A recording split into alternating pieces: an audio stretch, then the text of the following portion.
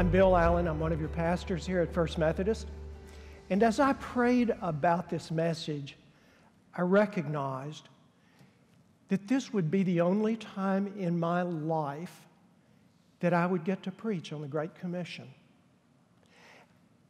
And I wondered, what could I do with this one opportunity?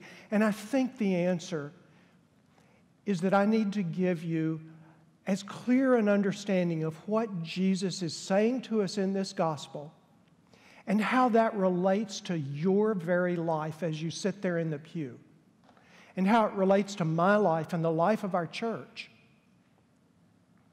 And in addition to understanding that, you need to understand why we must respond to the Lord's instruction.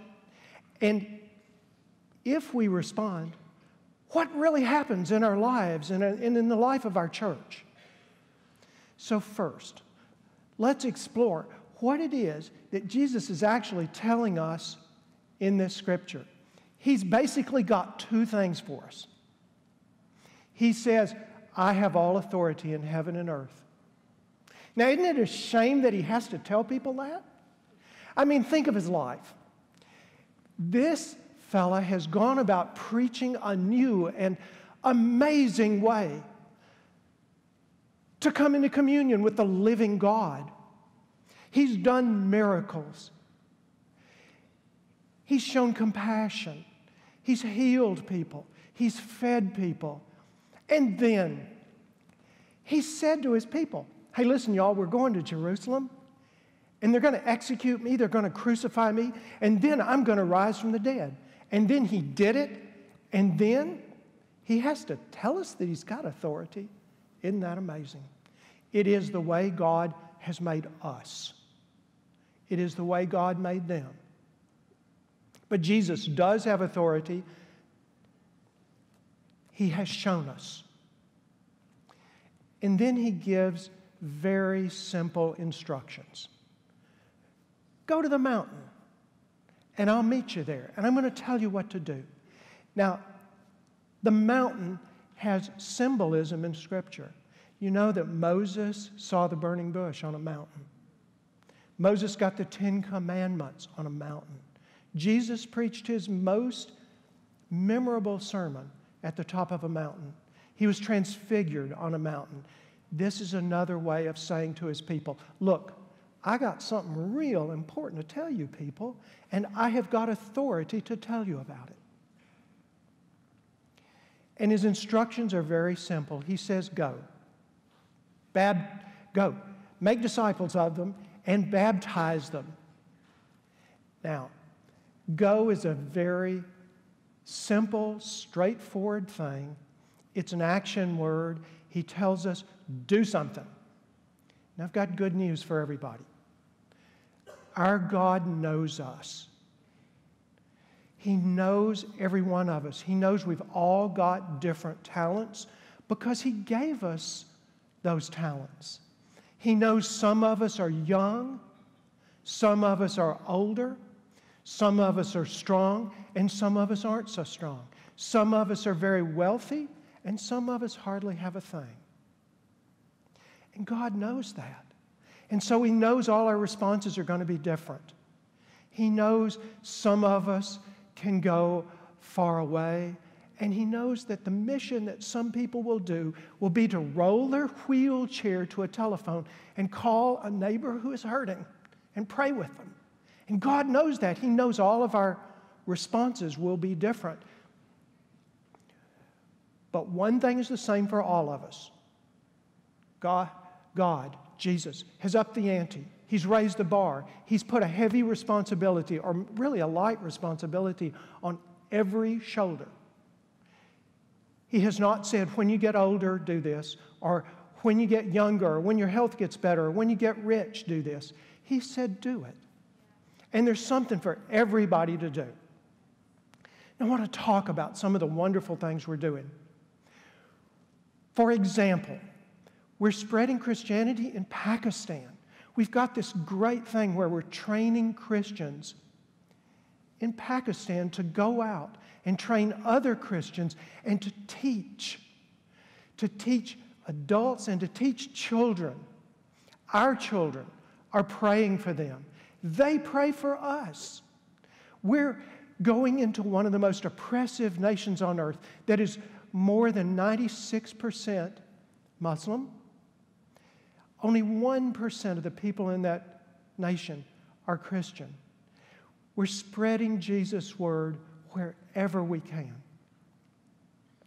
We've got things close to home, like Neighbors in Action. You can go and work with the women and children in Port Houston. You can come to the basement and work with the street people, with Alexis and I, and, and, and uh, Ursula and, and Louise and, and Guy back there.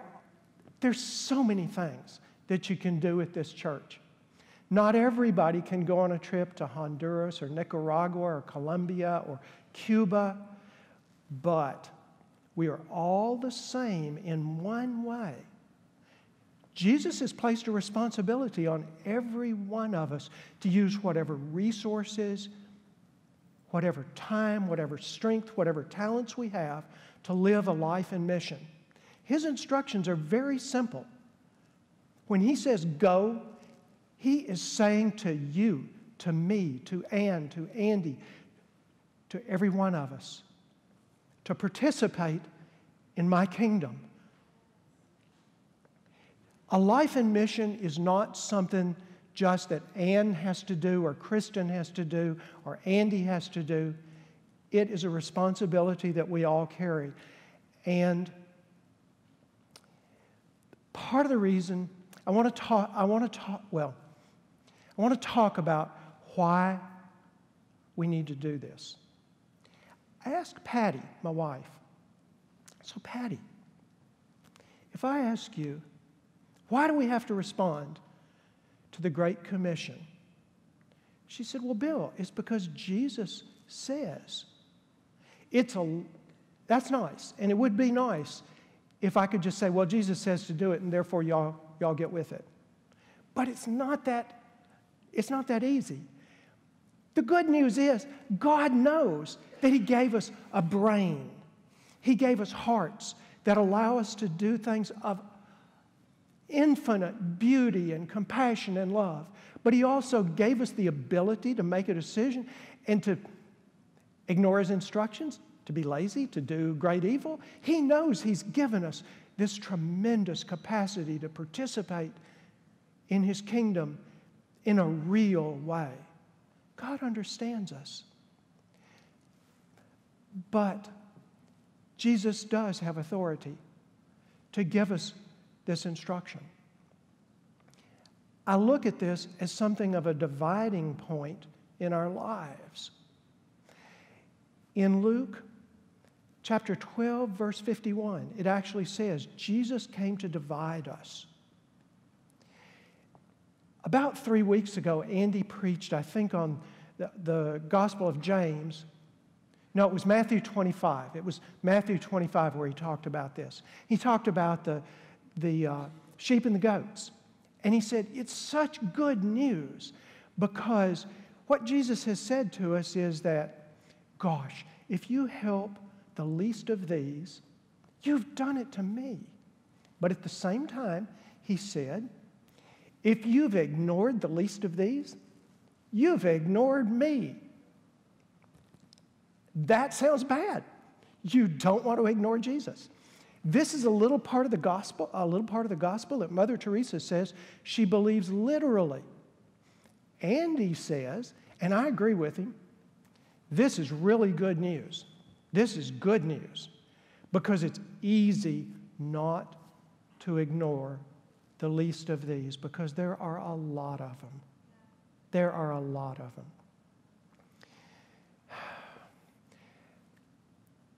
Our church is doing so many things. We have refugees that have come from all over the world from Syria, from Africa, from all over the world, from Muslim countries, from Christian countries, but from, from places of oppression. And we're doing beautiful work with those people. And I'd like to show you a video that shows some of the folks that we are helping from around the world.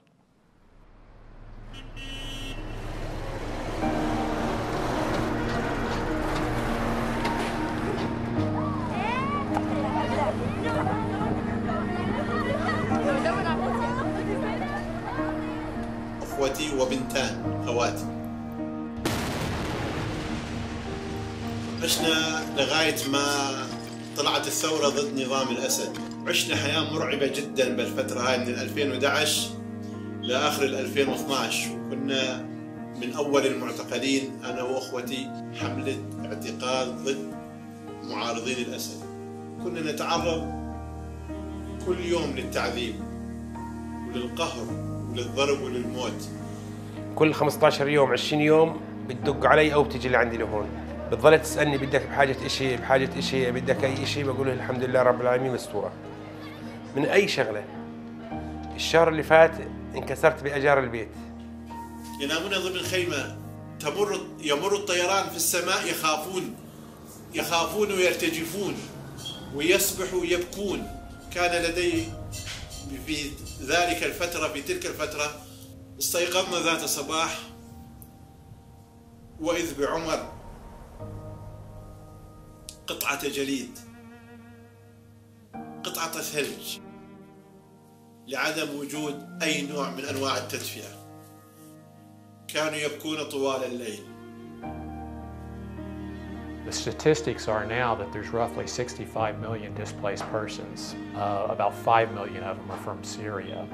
And so when we are able to help somebody from a different country to come to our country and experience friendship and love in the way that we're able to do, it's a tremendously rewarding feeling. You know, it's the best feeling you can have is to love somebody and feel love back. Breaks my heart what is going on in Syria, and I feel like I can't do anything about it. But if I can help one family here navigate all of the complexities of life of moving to the United States, and if I can help the children understand English better so they can succeed in school and they can thrive and they can come to love our country, then for me, that means maybe I can make some small difference. وحينما انقطعت الكهرباء لم نجد الا اناسا طيبون ورائعون جدا اتوا من الكنيسه وساعدونا مساعدة لا مثيل لها. كانوا جدا طيبين ورائعين. ما قصروا معنا ولا ثانية. من الأكل من الشرب من الألعاب للأولاد من الحلويات. ما قصروا معنا أي خدمة شيء لشيء يعني ما كانوا يشروها عبيتهم وتروح تنام. I had the awesome pleasure of hosting 107 people, refugees, at Quillian Center. My heart was really broken for, for so many of our, our refugee families because, of course, this is their second time at least going through this experience. These people lost their homes, not to Hurricane Harvey, but to a civil war where there was no FEMA, there was no government, there was no church, there was nobody to help them escape the hardship they were experiencing. It was especially good that our church was able to open up our facility again to help them. So many people did. I saw so many of our friends and members bringing food, bringing clothes, taking time to, to serve. It was, a, it was really a great, wonderful experience.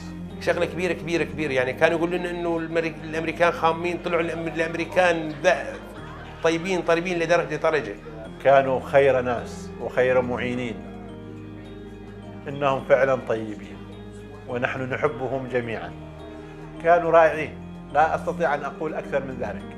شعرنا إننا في بيتنا ولم نشعر بأي فرق وكنا مرتاحين جدا وسعيدين. وشكرا. لكم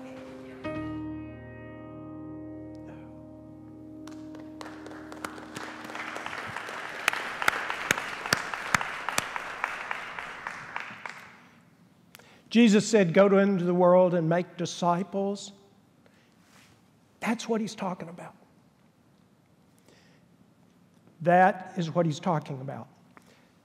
Why must we respond to his instructions? Why is the story of the sheep and the goats good news, not bad news? It's because the need is great. There are 7.1 billion people on this earth. 1.3 billion of them live on less than $1 a day. 1.3 billion people do not have access to clean water. You should go on the World Vision website sometime and look at the videos of children five years old walking two miles with a, with a bucket to get muddy water to take home so that they have something to drink. It's heartbreaking. The need is very great, and we are in mission all over the world and in this city. It's such an easy thing to do to be part of what Jesus is doing in this world. One of the things I want you to hear is sort of my answer to the question what happens when we do the right thing, when we do what Jesus has told us to do? Once upon a time, many years ago, I was driving to work. Now, most of y'all know that I'm a retired physician, I'm a pediatrician, okay? And I was on my way to see patients in the clinic. I was praying, and I got a strange, almost audible message. I heard that I have work for you in Mexico. Now, I thought I'd just eaten some bad tacos probably because because at the time I spoke not a single word of Spanish, and that's the truth. I could say, I probably said Garcias instead of gracias. And, you know, it was really bad. I didn't speak any Spanish. I'd never been to Mexico, and I really heard that message. And when I got to the clinic, about 10 minutes later, because I was close, I was close to where I was going, I walk in, and the nurse says, Bill, there's a man here with a sick child, but he doesn't have any appointment. And I said, sick child. She said, eh, but he says he knows you. And I said, yeah, put him in a room, put him in a room. You know, and I go in into the room, and the child was sick significantly. And the man says, I'm so sorry. Well, his name's Jerry. And he says, I don't have any insurance and I don't have any money. And I said, Doesn't matter. Let's see what the problem is and see if we can help. Well, we helped. She got well. She was probably going to get well anyway, is the truth. you know, but, but they thought I'd helped them. And the man says, Well, I don't have any money, but, and he whipped out a little black book and said, But I lead mission trips to Mexico. Would you like to go to Mexico? Now, I'd had that happen about 10 minutes before, and, but, you know, I couldn't dodge it. They wouldn't let me dodge it. I said, When are you going? And he called off a date, and I said, Ha ha, I'm on call. That's what I said inside. and I was. And he said, Well, we can delay the trip a week. Are you on call the next week? He wouldn't let me out of it. So I had to go to my pastor. He, he stuck me with getting the transportation. I, got, I borrowed the church van. The pastor wasn't that crazy about it because it was un, unplanned. And then I had to collect the team. And my son Scott, who was in the sixth grade, I, I could collect him pretty easy. And he, he recruited a kid from his class at school. That's the truth. And I was able to get our church secretary, who was somewhere over the age of 65, and the matriarch of our church, a saint named Ruth Young. And that was the team me and Jerry and his daughter. And so we go 450 miles down into Mexico, but I left out a detail. Jerry made me get a trailer hitch put on the church van I didn't tell the pastor about that, I just did it. and I go over to his house, and he had borrowed a flatbed trailer, and they had been collecting clothing for the poor people in Mexico for weeks. They had washed it, they had sorted it, they had folded it, and put it in bags. There were more than eight tons of used clothing. We drove down there 450 miles. They had rented an old concrete block building for revival at night, for nighttime revival. It was a bar that they had rented. It had windows, but there was no glass in the windows. They just had cloth hanging over the windows and a cloth hanging over what they called the door.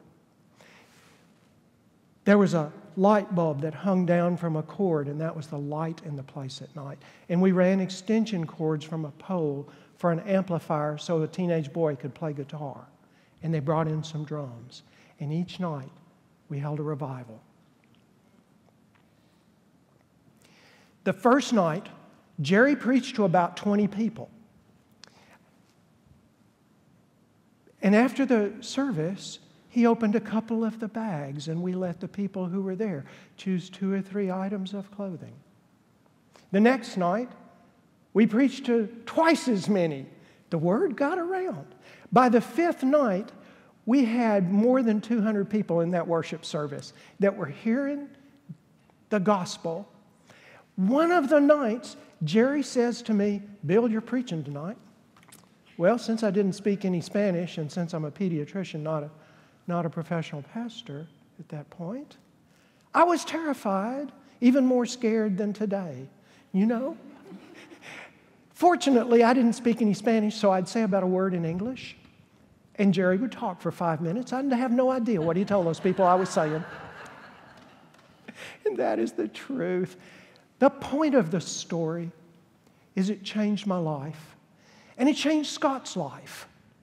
The simple act of paying attention to the Great Commission, whether I wanted to or not, truthfully, changed my life, and it changed Scott's life. Within a year or two, Patty was coming to me and saying, You know, I think Scott's going to grow up and work for the church. Where should she get that? But she was right. He's graduated from seminary, and he's the youth pastor up at uh, First Methodist Fairfield. With Harvey, with the flood, his youth group was one of the first teams to go in and help muck out houses in Cypress, where he had worked before he went to Fairfield. It changed our lives.